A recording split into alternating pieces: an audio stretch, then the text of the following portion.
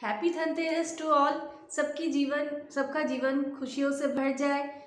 दिवाली आने वाली है। दिवाली का भी ढेर सारा प्यार और शुभकामनाएँ आप सबके लिए।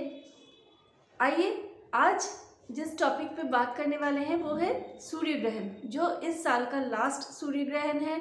और ये फेस्टिव सीज़न के अंदर आया है तो फिर दिवाली के समय जो पूजा किया जाता है, चाहे वो वेस्ट बंगाल में माँ काली की पूजा हो या दूसरे प्रोविंसेस में, दूसरे स्टेट्स में माँ लक्ष्मी और कुबेर जी की पूजा हो। जो भी पूजा हम करते हैं, इस पूजा को करना चाहिए, कब स्टार्ट करना चाहिए, ये सब लेके हमारे मन में ढेर सारी क्वेरीज है, ढेर सारे दुविधा है। तो आइए जानते हैं, ये सूर्य ग्रहण कब है? सूर्य ग्रहण वैसे ट्वेंटी फिफ्थ अक्टूबर 2022 को है। ये आप लोगों को ऑलरेडी पता चल चुका है।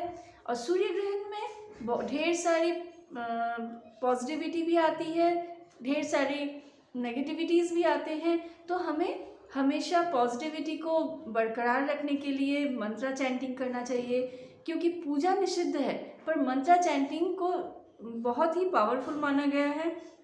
जितना ज़्यादा हम चैंटिंग करेंगे किसी भी मंत्रा को इस इस रिलेटेड मैं आप लोगों को ये बता दूँ, चंद्र ग्रहण हो या सूर्य ग्रहण हो, अगर आप ग्रहण के समय आपका जो प्रिय मंत्र है, या चाहे आपका वो इष्ट मंत्र हो, या आपका कोई भी, किसी भी धर्म से हो, आप किसी भी किसी भी धर्म से हो, किसी भी मंत्रा को आप चैंटिंग करते हो, जो आपका बहुत प्रिय मंत्र है, जिस मंत्रा को आप चैंट करने से आपको अच्छा फील होता है, आपको पॉजिटिव फील होता है उस मंत्रा को आप इस ग्रहण के समय, चाहे ये वाला ट्वेंटी फिफ्थ अक्टूबर को जो सूर्य ग्रहण है, इस ग्रहण के दौरान हो, या आने वाले किसी भी सूर्य ग्रहण या चंद्र ग्रहण के दौरान, आप अगर कोई भी मंत्रा चैंट करते हैं कंटिन्यूसली चैंट करते हैं, तब वो मंत्रा जो होता है, वो सिद्ध हो जाता है।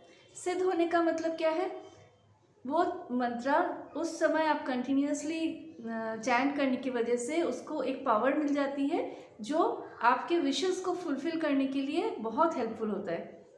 आपके लाइफ से प्रॉब्लम्स को दूर करने में बहुत हेल्पफुल होता है।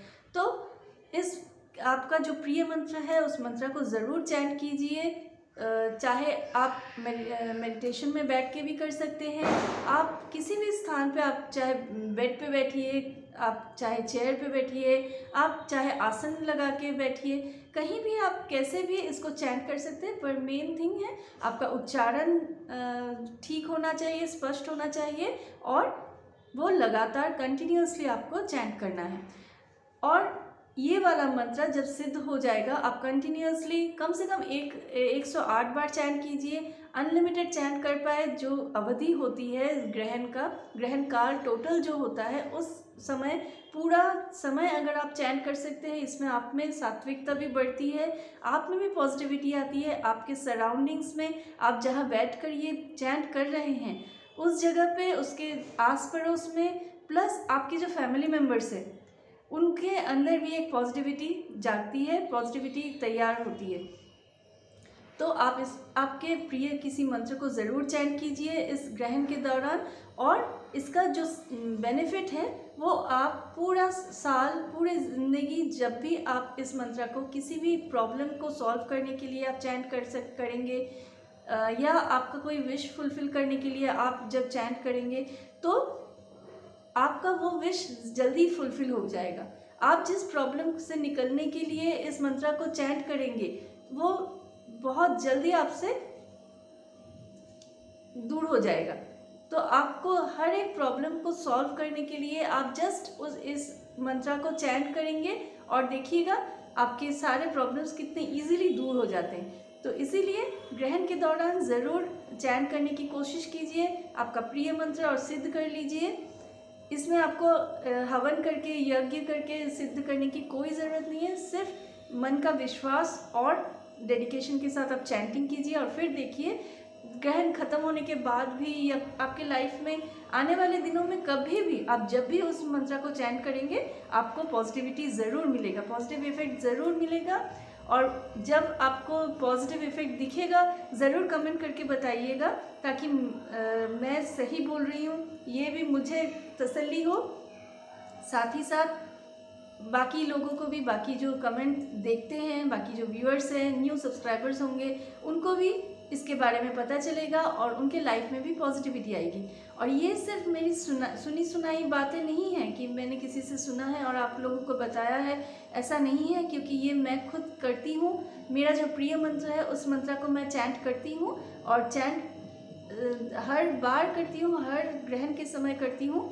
यहाँ तक कि मैं जपाजाप भी करती हूँ तो उसी मंत्र का करती हूँ। और आप खुद करके देखिए आपको पॉजिटिविटी अगर नहीं मिले तब मुझे आप कमेंट करके बताइएगा कि आपने मुझे आ, आपने कहा था हम लोगों को इस मंत्रा को चैंट कर मंत्रा को चैंट करने के लिए और फिर इसका पॉजिटिव रिज़ल्ट मिलेगा पर मुझे नहीं मिला। आप ज़रूर कमेंट करके बताइए। पर मुझे पता है अगर आप कंटिन्यूसली ग्रहण के समय ये किसी कोई भी मंत्रा चैंट पूरा कंटिन्यूसली करते हैं उसका फल आपको बाद में ज़रूर मिलेगा। तो आइए जानते हैं सूर्य ग्रहण के बारे में सूर्य ग्रहण ट्वेंटी फिफ्थ अक्टूबर 2022 शाम चार बजकर बावन मिनट पे स्टार्ट होगा, शुरू होगा, ग्रहण लगना शुरू होगा और ये दिखाई देगा सबसे पहले कोलकाता में। हमारे भारत में कोलकाता में सबसे पहले ये ग्रहण दिखाई देगा, वो भी चार बजकर बावन मिनट पर।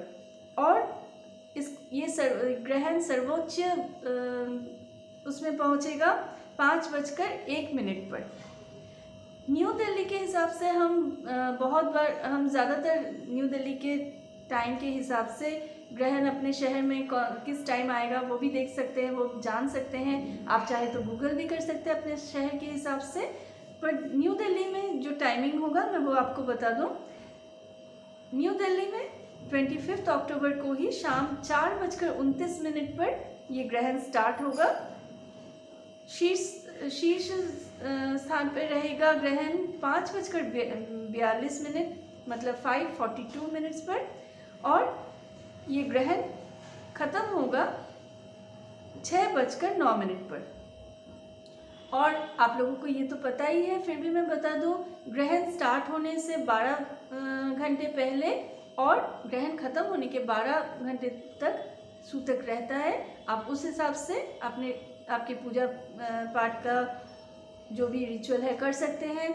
पर 24 तारीख कल है, कल आप आराम से पूजा कर सकते हैं, क्योंकि ग्रहण तो 25 तारीख को शाम को लगने वाली है। उससे पहले तो पूजा हो ही जाएगी। और उसके बाद जो शाम को पूजा होने वाली है, वो छः बजकर नौ मिनट तक तो ख़त्म हो ही जाएगा। ग्रहण उसके बाद भी आप कर सकते हैं, कोई प्रॉब्लम नहीं है। तो आज यहीं तक। नेक्स्ट वीडियो में भाई दूज के बारे में बताने वाली हूँ, ताकि आप लोगों का कन्फ्यूज़न दूर हो और आप भाई दूज का त्यौहार भी ढेर सारी खुशियों के साथ मना सकें। अभी यहीं तक, नमस्ते।